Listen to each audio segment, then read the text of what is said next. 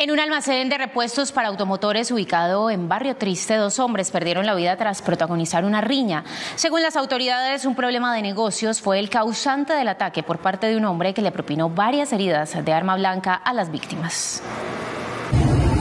Miguel Ángel Cano, de 58 años, y José Miguel Cano, de 24 años, padre e hijo, fueron las víctimas mortales de la riña que se presentó en un establecimiento comercial ubicado en el barrio Corazón de Jesús, más conocido como Barrio Triste.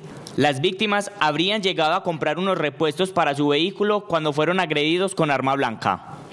Que en un hecho de intolerancia en la zona céntrica del municipio se presenta una riña recíproca entre cuatro personas. Como resultado, una muere en el lugar de los hechos, otra posteriormente en centro asistencial. La persona causante fue capturada. En el ataque también resultaron lesionados un familiar de las víctimas y el agresor. La comunidad intervino para tratar de parar la pelea. Sin embargo, el victimario de 50 años ya le había provocado varias heridas con arma blanca a los tres hombres.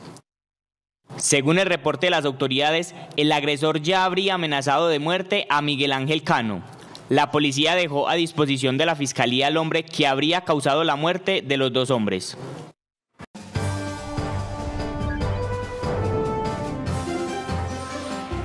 ¿Sabías que ya ahora 13 Noticias cuenta con plataformas digitales?